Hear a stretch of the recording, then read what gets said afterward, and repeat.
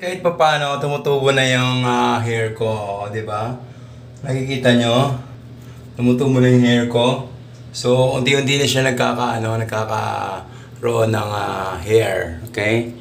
So, yan.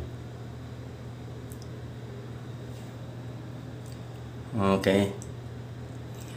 So, ginagawa ko lang dito, nag-exercise ako sa loob ng condo. so, tutubo na yung buhok ko. Nag-jogging ako dito. Breathing exercise.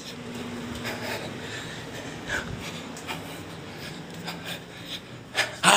Ha! Ha! Ha! Train my lungs. Whew! Whew!